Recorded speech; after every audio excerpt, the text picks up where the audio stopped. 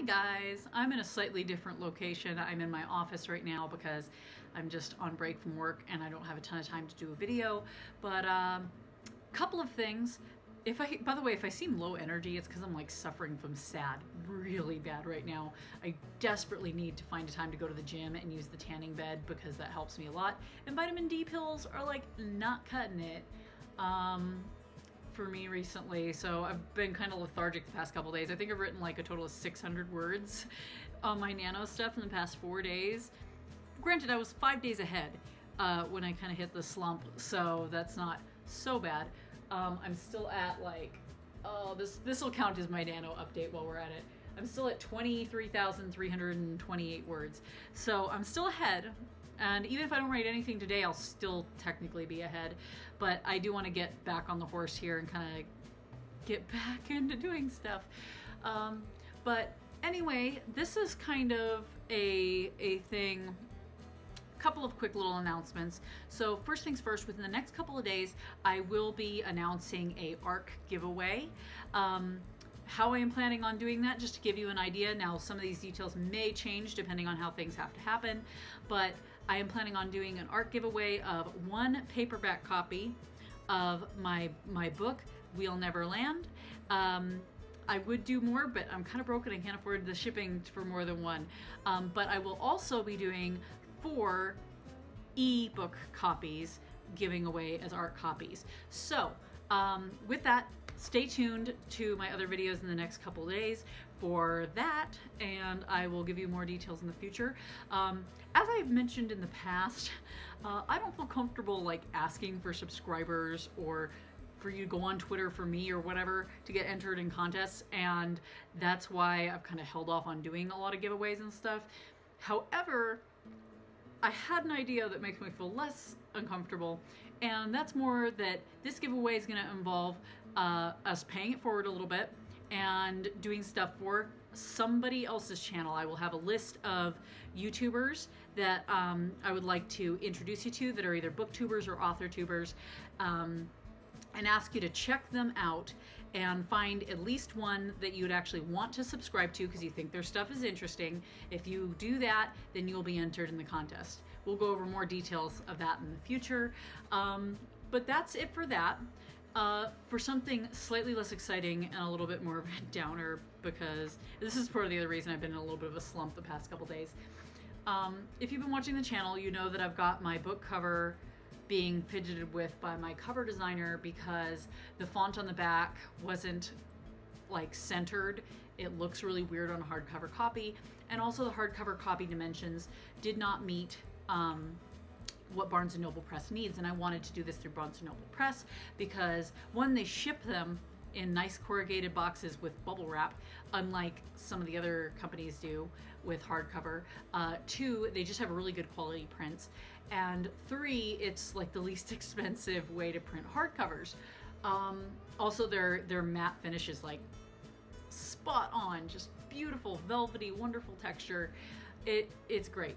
But Anyway, I was really excited about that. However, my one Barnes and and this is not my cover designer's fault. I just want to say this right from the get-go. This particular problem I'm having, although we'll get to one later that is actually, in my opinion, her fault, um, is th that she is not getting the dimensions right for Barnes & Noble Press. She sent me the order, the edited order, uh, back twice now, and neither time has it had the right dimensions to fit into Barnes & Noble Press correctly.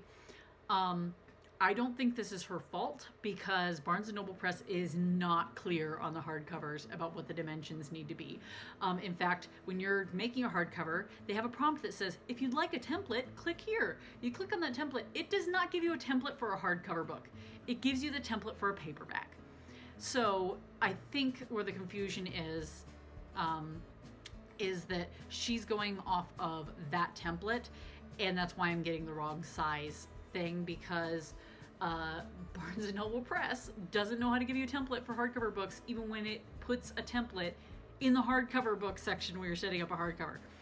Anyway, so that's that. So with all the trouble that we're having getting those dimensions right, um, honestly, I'm starting to think that we just may not do a hardcover, which is a little bit discouraging. It's not the end of the world. Um, I don't know why I had my heart set on doing a hardcover copies because honestly they're just more expensive um, and I don't think people really necessarily want to spend that kind of money on a debut novel um, and stuff by by a no name like myself but uh, we may be dropping the hardcover thing. I still need to research if I can get it to work on Ingram Spark um, so we may still be doing a hardcover but we may not so I will let you guys know what happens in regards to that, but that's partially something that's been frustrating me and making me feel a little bit discouraged as far as getting writing stuff done.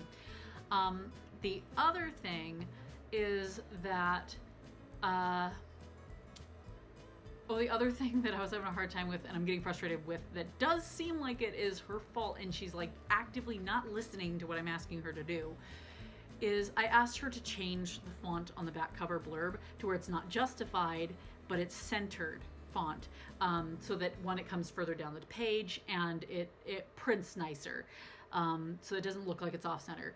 And both copies she sent back to me do not have the font like changed at all on the back and i'm just like are you missing this like and i keep having to try to find ways of asking her tactfully like okay well i i, I appreciate you trying to change the dimensions here that's just not working because barnes and noble press is kind of a pain and they're not clear on what they want um, so that's fine.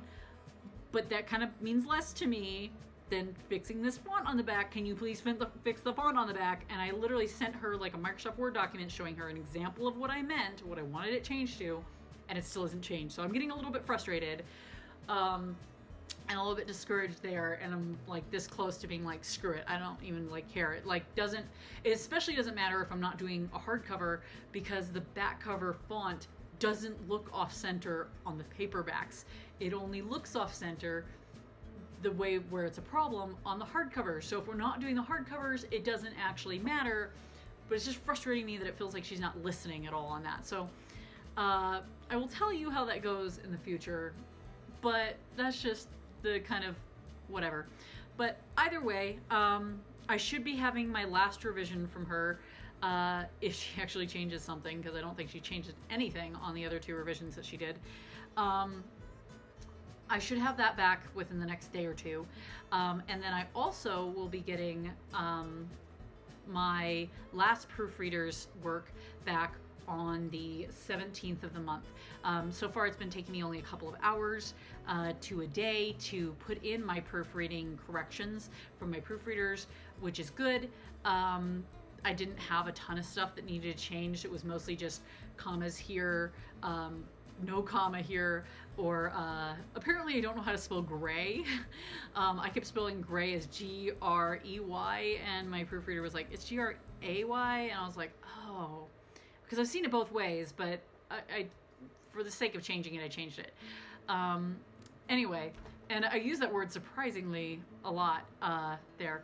But uh, with with that, um, once I get those put in, I, I expect to have those proofreading um, changes put in by the end of the 18th of the month. And then that's why I want to have this ARC giveaway contest because that gives us um, a little less than a month and a half till my actual release date. So we can hopefully do some ARC stuff. I got to do some more research on how ARC stuff works. Um, I, I really more just want an excuse to like give away some copies ahead of time to people. So um, that's that. Uh, hopefully I will get out of this slump here in a little bit. Maybe follow some of my own pick me up advice from my last video. But um, anyway, I know this was a little bit of a rambly video and I know it wasn't particularly educational. It was just some stuff I kind of needed to vent about a little bit and also some minor announcements for anybody who cares. So, uh, thank you for watching if you watched to the end, and you have a great one. Alrighty, bye bye.